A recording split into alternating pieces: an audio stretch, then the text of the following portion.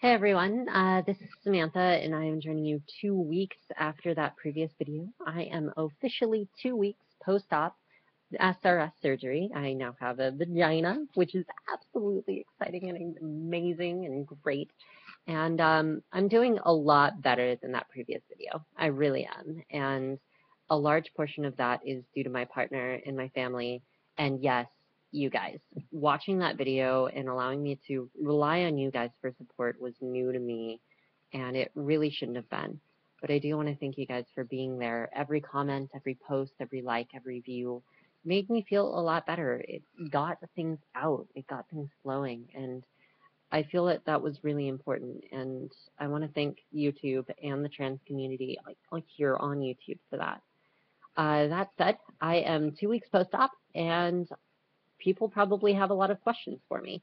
So I'm going to try and answer them here as well as much as possible for those who do want to know how I'm doing, as well as people who may be researching SRS or surgery with Dr. Suporn here in Thailand. Um, I'm two weeks post-op, uh, which means I have been dilating for two weeks, which is going to be the biggest topic ever. But first, I do want to start with just the environment and Dr. Suporn himself and how I kind of feel there. Lastly, I do want to talk about dilation because it's probably one of the most difficult and hardest things I have ever done in my life. And it's not due to fear. It really does feel like a brand new transition, embarking on an entirely new journey. Um, first off, the community here in Chonburi, Thailand is amazing. It's fantastic. And the reason is because Suporn has done his utmost best. He's the best surgeon in the world, especially given that he has his own personal technique.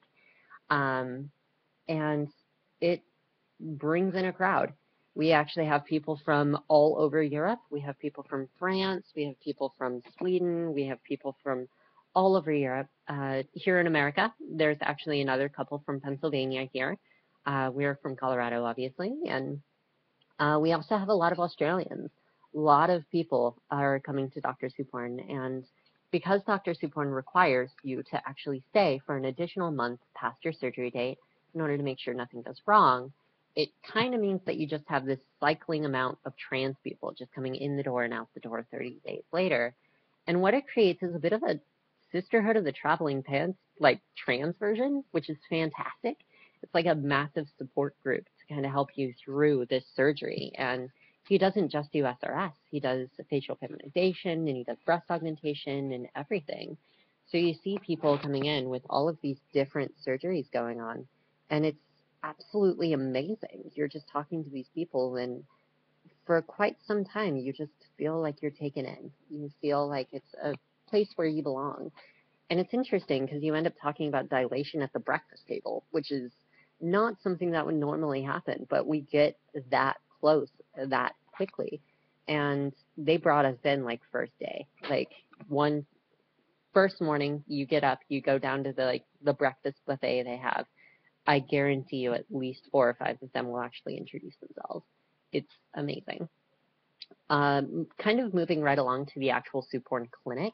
Um, the girls that Dr. Suporn hires are fantastic. They are bilingual. They do understand Thai, and I'm pretty sure that's one of the major reasons he chose them is because he does have an international client base and he wants to make sure that everyone is comfortable. For instance, I've been talking with three or four of these girls in English perfectly fine. They uh, understand great English. But I actually saw one of them talking to a French group, and I saw another one talking in German, which was interesting. I didn't actually get the chance to view that for very long, but um, they do the best that they can to make you feel comfortable. Uh, that said, um, they're basically an extension of Dr. Suporn themselves. If you have a question, they'll probably be able to answer it. And before and after your stay, you'll be speaking with the famed Sophie, who is the only person to actually answer questions for people before and after surgery. So you spend like a good three days waiting for her responses under normal circumstances. Very overworked, but Suporn wants to make sure that you are getting the most direct information, which is really cool, really great. Sophie definitely needs some help, um, so some activism to kind of help out there would be much appreciated. Um, Dr. Suporn himself, fantastic surgeon, can't have any complaints necessarily. Um, I the only complaint that I've seen was one person who didn't like the way that her nose was done. Uh, past that, his actual surgical procedures are fantastic. He follows a very strict regimen. And if he thinks that there's any chance anything will go wrong with you, he will make sure you know. For instance, when it came to depth, if you wanted like a good six inches or anything like that and it wasn't possible, he would tell you you'll get about like four inches and not to necessarily expect that, but he'll do his best. That said, he is a bit of a savant. Uh, surgery is pretty much the only thing he does.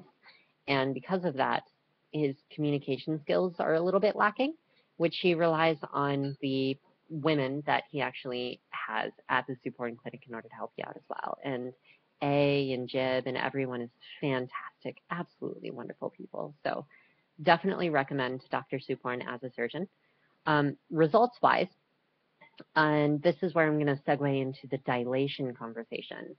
I really, really like this. I don't have the parts that I've hated my entire life. And because of that, things are very, very new to me. I feel comfortable being naked in front of my partner. I've never felt comfortable being naked in front of myself. I can look at my body and say, yes, this is okay. And there are still things that I don't like about my body, of course. I mean, my midsection definitely needs some work. But past that, like, I don't have to look in the mirror and say, I hate the body that I have. And that is such an amazing and freeing sensation. The dysphoria overnight almost gone. And it took a while. It took me being in the hospital I actually remember the first memory after getting out of surgery. I looked at my partner, probably smiling. I can't quite remember. Um, and I said, I have a vagina. And I was pretty excited about this fact. I was very excited. Um, the issue came when it came to dilation about a week later. Um, dilation basically means that you're going to take a medically required instrument with which to insert into your vagina, probably sounds like something, um, into the vagina and you hold it there so that it opens up the vagina. If you think about it, it's just like a piercing. And that piercing needs to have something in it to keep it open. Otherwise, the body heals over it. And you don't want that happening with your vagina at all. So dilation, medically required process.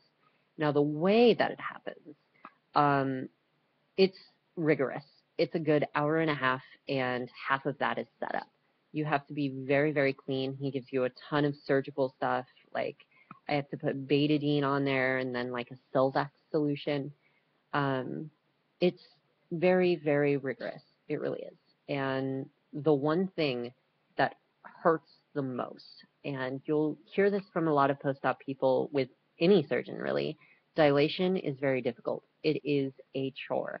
And yes, it is painful. And before I went into this, I knew it was going to be painful. I just didn't know exactly how mentally rigorous it is. Because this is the one time I have ever done anything that required so much of me physically. And what it basically is, and to explain this to people who aren't planning to go through SRS as well, basically, if you were to cut yourself from your wrist to your arm down to the bone, and then during the course of recovery, every two hours, have to put your hand in it and slide it for 15 straight minutes over and over again. And you would have to actually schedule yourself for that. Imagine how difficult it would be. That said, I have to do that with the vagina, and the dilator hurts a lot. It hurts going in, it hurts keeping it in, it hurts pulling out. And with that said, I have to schedule it myself and I am responsible for doing this for the next year. It's not just going to be like two weeks of recovery or a month of recovery or three months of recovery.